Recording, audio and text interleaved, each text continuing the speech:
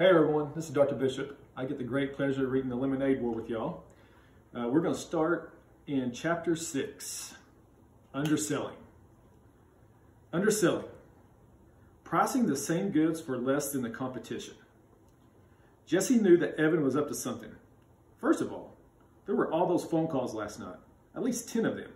Then he come knocking on her door this morning, asking if he could have the pieces of foam core she had leaning, leaning against her bedroom wall. No way, she answered. That's for my Labor Day display.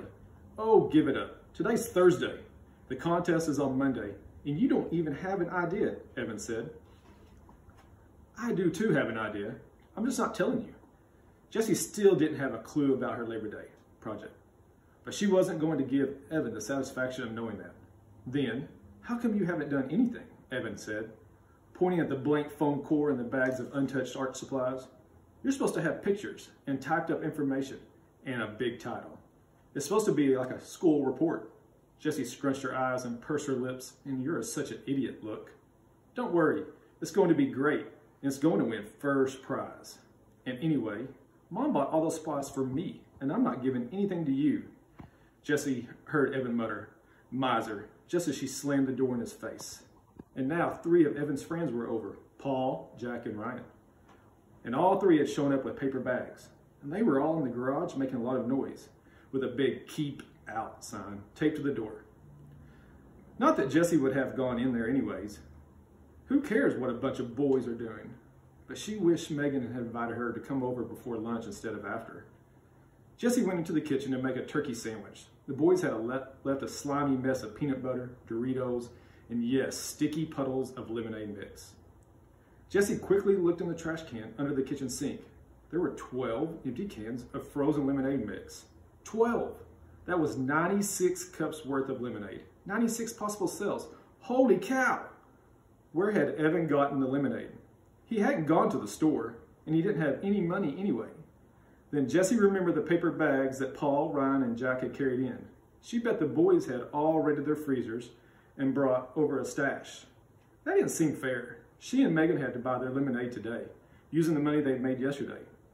How were, how were they going to stay ahead of the game of the boys had free lemonade to sell? Think, Jesse, think, she whispered to herself. She couldn't let those boys win. By the time she finished her lunch and cleaned up her mess, she wasn't going to lift a finger to let the, clean the boys' mess.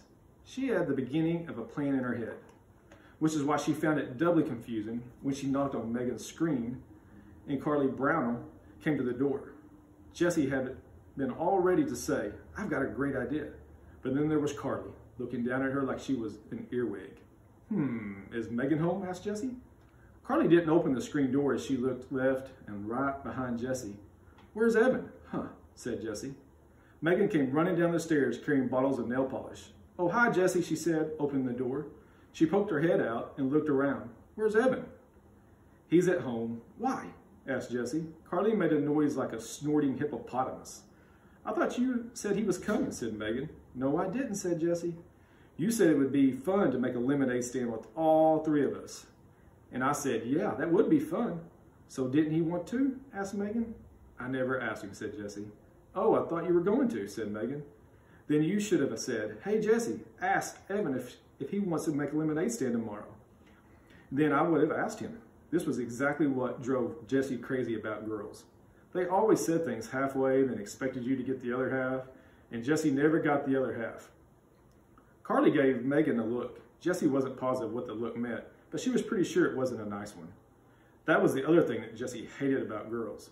They were always given looks, looks that contained all kinds of strange and complicated messages.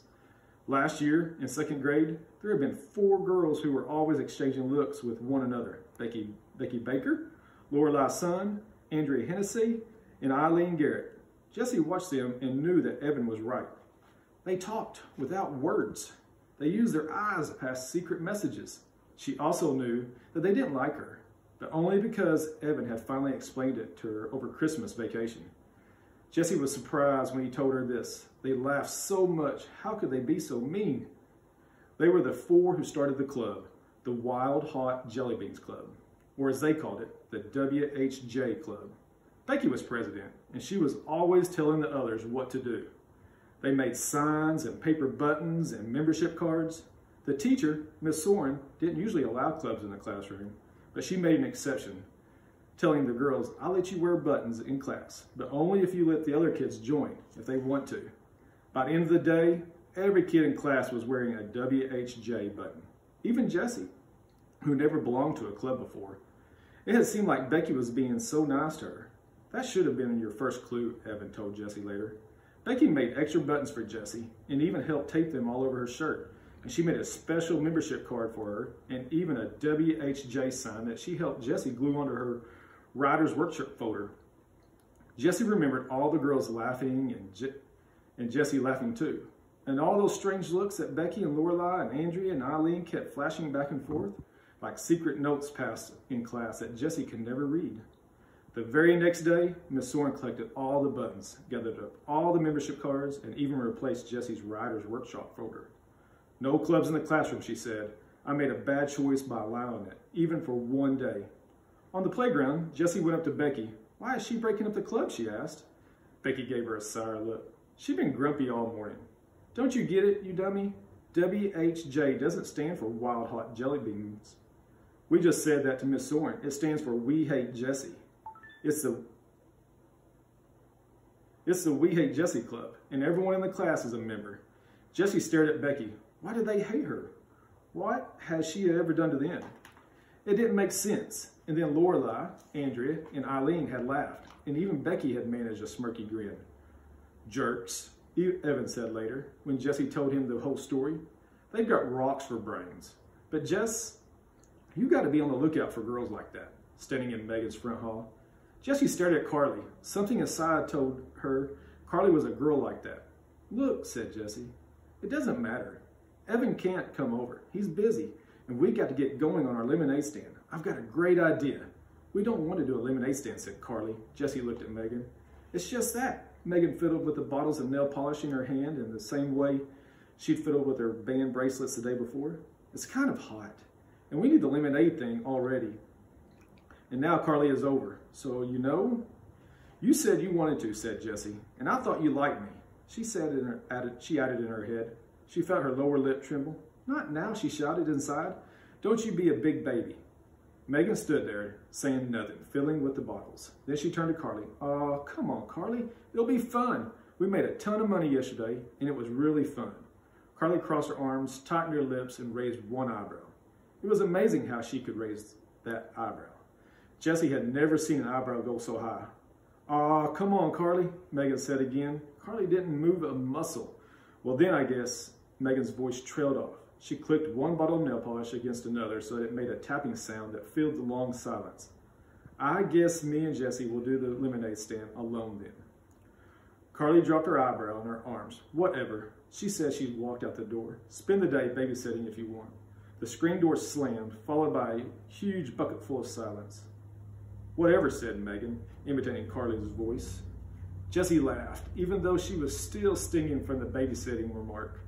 Thanks for doing the lemonade stand with me, she said. Are you kidding, said Megan. She's such a stuck-up jerk. I didn't even, even invite her over. She just rode by, and when I said I, that you and Evan might be coming over, she just walked into the house. Are all girls in fourth grade like her? asked Jessie. She tried to sound casual.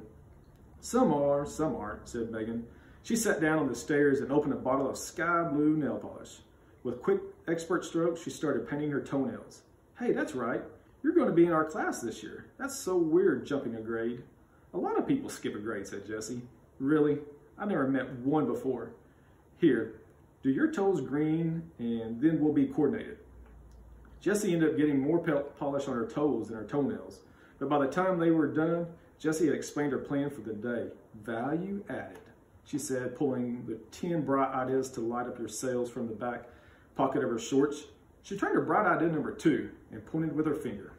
Value added, something extra, such as a special feature or an attractive packaging added by a company to a product that makes the product more desirable in the marketplace.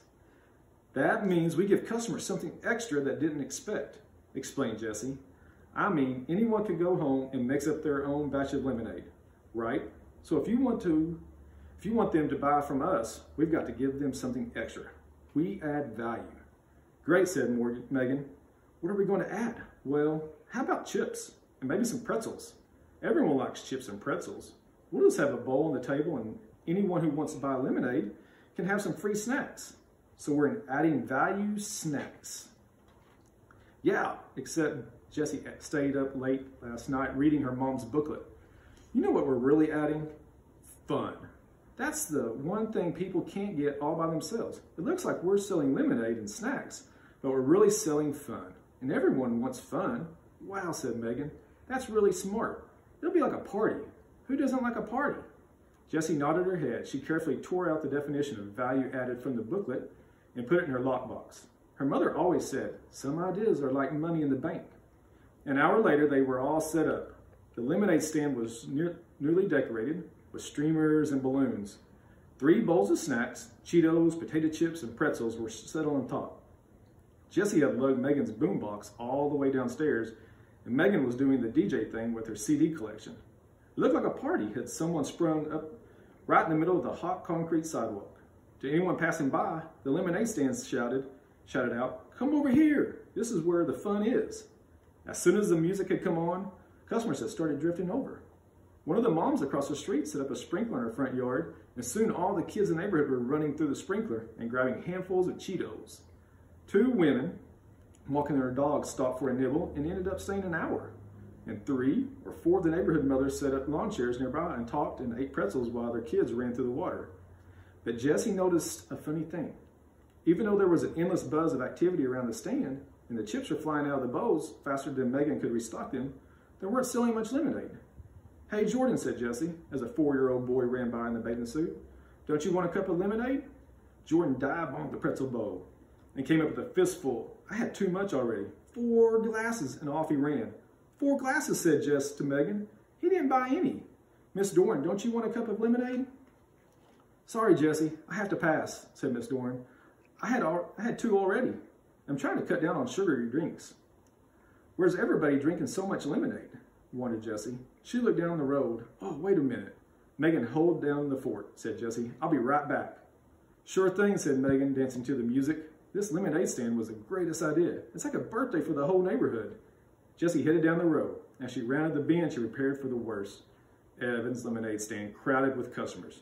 But there was nothing, absolutely nothing. The corner was deserted. She crossed the street and went into the garage. There was the cooler, dirty and empty. And there were the stacked plastic chairs, four of them this time. And there was, wait a minute, those were new signs. Jesse pulled out three large pieces of foam core. On the back of each one was part of the Penguin project Evan had done last year in third grade. On the front were big letters, slow down, cheapest lemonade in town ahead. Yesterday's prices, today's lemonade. You won't believe your eyes. Icy cold lemonade, just 10 cents a cup? Jesse couldn't believe her eyes. 10 cents a cup? That was crazy. Even if they sold all 96 cups, they'd only make $9.60. And split four ways, that was just $2.40 for each boy. Evan was never going to earn $100 with that kind of profit. Jesse went down into the basement. Evan and Paul were playing air hockey. Well, shoo! The, put, the puck flew into Evan's goal, and Paul threw his arms into the air in a victory V. Oh, snap, said Evan. You're winning. Winning, winning. Are you kidding me? said Paul. Then he dropped his voice to a gravely growl and said, I don't play to win. I play to pulverize. Just like that muscle guy actor in Agent Down, the movie that all boys were talking about. Paul was even flexing his muscles like the actor, except that Paul didn't have any muscles. At last, at least, none that Jesse could see. When Paul saw Jesse, he dropped his arms. Hey, he said Paul, was Jesse's favorite of Evan's friends. He always joked around with her, but in a nice way. He never minded, with, minded with, when Evan invited her to come along with him. Hey, said Jesse, what's up? Evan turned off the air hockey table. Nothing, he said. We're just going out. Paul dropped his hockey paddle into the table and followed Evan into the garage. Jesse trailed behind. Where are you going, she asked. Down to the track, said Paul as he strapped on his bike helmet. We put pennies there this morning, so we're to go get him now. Squash, you wanna? Yo, shouted Evan. My bee, muttered Paul. So see ya, he said to Jesse. Jesse hated this feeling of being shut out, like she wasn't wanted. Evan had never made her feel that way before, even when sometimes he did want to be just with his friends. He'd always say things like, Jess, we're going to go shoot some hoops, just the two of us.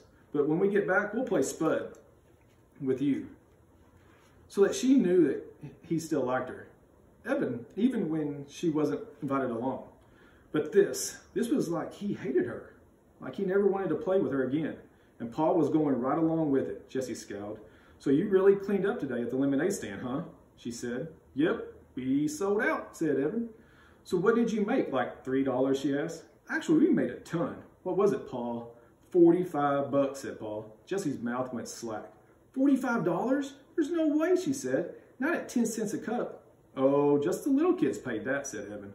The grown-ups all gave us way more money. That's too cheap, they said. It's such a hot day, you're going to work working so hard. Here, take a dollar. Keep the change. It was crazy. Unreal, said Paul. They kept pushing all this money at us because cause they thought it was so sweet we were selling lemonade for a dime. We made a killing. Bright idea number five, Jesse remembered. It's it immediately. It's called goodwill, she said, slowly picturing the exact page from her mother's booklet with the definition on it. Goodwill, an intangible but recognized asset that results from making, selling good products, having good relationships with your customers and supplies and suppliers, and being well regarded in the community. It's when you do something nice in business and it ends up paying you back with money, she sighed. Why hadn't she thought of that? She would be sure to tear out that definition and put it in her lockbox when she got back to the lemonade stand. Well, whatever. We cleaned up, said Evan. Even so, said Jessie, trying to find some way to prove that Evan had not had a good day selling lemonade. You had four people working the stand. So if you split it $45 four ways, that's only $11.25 each, which is still way more than I'm going to make today, she thought, since the whole neighborhood is already filled up on cheap lemonade. We're not splitting, said Evan. The guy said I could keep it all. Right, said Paul. All for a good cause? That's not fair, said Jesse. Sure it is, said Evan, as he got on his bike and pushed off. In case you didn't know, that's what it's like to have friends, Evan crossed the street. Ouch, said Paul. TTFN, Jess. He followed Evan. Jesse was left standing alone in the driveway. Thanks, guys, for letting me read with y'all. Finish the lemonade war.